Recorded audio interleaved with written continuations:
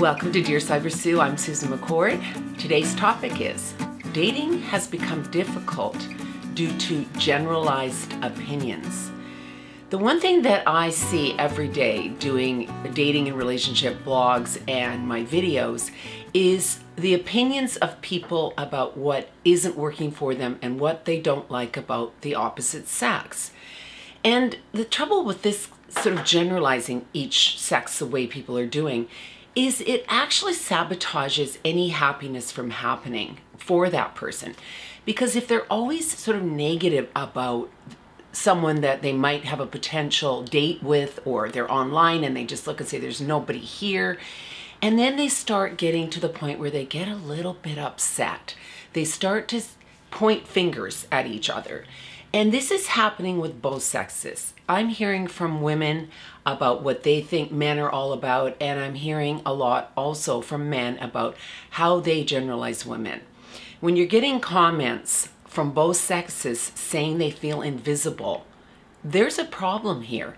And the problem is a disconnect from just understanding that categorizing each gender into a specific opinion is not a good thing to do because you're labeling everybody the same.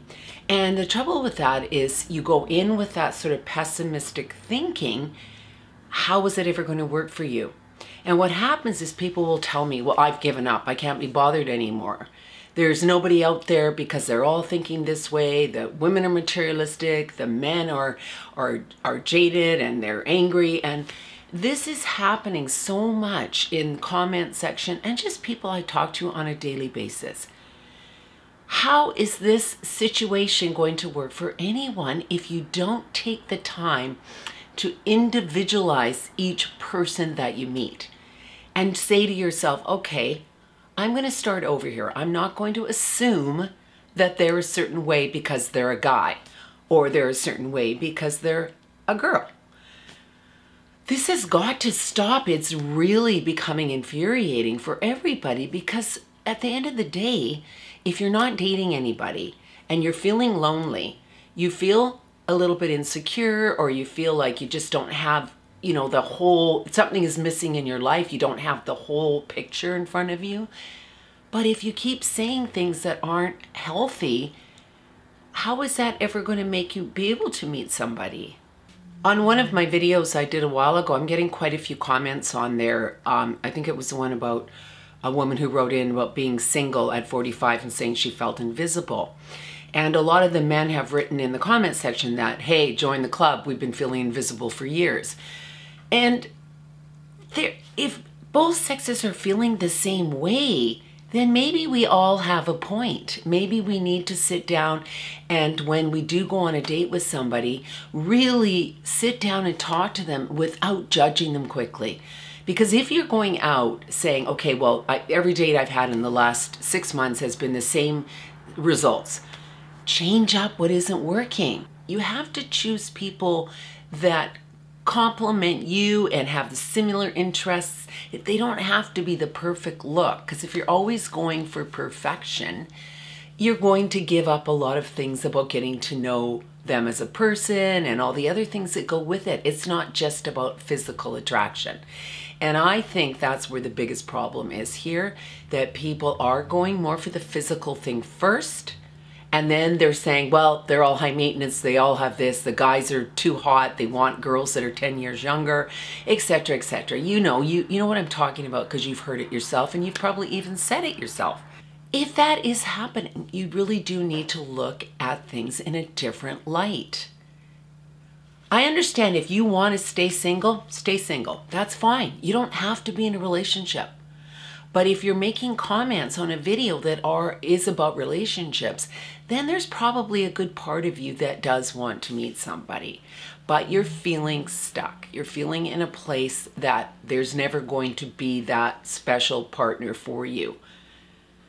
But if you think that way, that's the same result you're going to keep getting. Because if you're arguing about why women are a certain way or why men are a certain way, why do you want to be right about that? Don't you want to change that up and make it a better scenario that maybe there is a really nice guy that has my best interest at heart and he's just a sweetheart. Same with the woman for a man. I'm seriously telling you, we have to stop this. Another line I've been getting quite a bit is that women only want um, men in that 10%, you know, that the hot, perfect guy with the abs and everything. And women say the same thing, that men only want that as well. So what's happening here is we're all judging and labeling each other and we're not getting further ahead because we've got our heads stuck in a place that isn't being realistic. Not everybody is a bad person. Come on. There's lots of great people out there. Change up what isn't working. Go for somebody that brings a smile to your face, somebody that's interesting. Go on a date with somebody and sit down and get to know them without putting their appearance as, ooh, you know, she looks like she's high maintenance or he looks like he'd be a player. Take that right out of your head when you go on a date. Just try it. Just do a couple and try somebody that you wouldn't normally date find a person, maybe if you're dating online, that's just a bit different on the profile. Another thing I find that when I'm dealing with clients, and a lot of men and women do not understand that they do have a type. They don't get it. They're not aware that they do until you bring it to the forefront and you say, okay, have you noticed how this situation happens every time? Or they all kind of look alike in, on your phone, all the people you've dated in the past.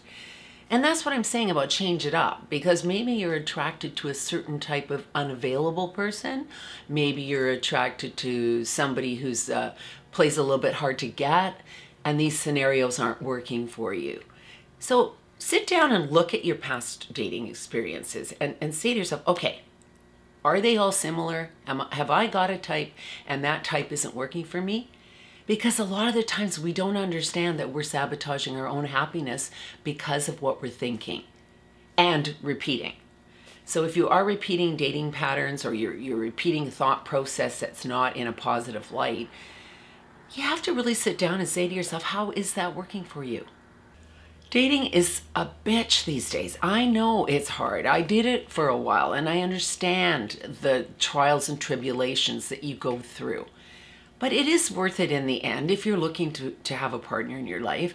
You might have to make some subtle changes about yourself. It's not always the other person that's the problem. Sometimes it's just we need to change up our thinking a little bit. And that's what I'm hoping out of this video that you will understand a bit. I'm not here to cr criticize or, or tell people they're being bad and they've got a terrible attitude. It's just about altering it a little bit. So in closing today, take a good look at your checklist. Even if you don't have one sort of written out, just think about what would you really want in a partner? Maybe revise that a little bit so that it's not, maybe you're looking a little bit too deep into things and just go on a few dates and just change up how you think about things. But there's light at the end of the tunnel if you don't lump everybody into one category. There's lots of great people out there. Thanks so much for tuning in today. Please leave your comments below and please click like and subscribe if you haven't already done so. Thanks so much. Take care. Bye-bye.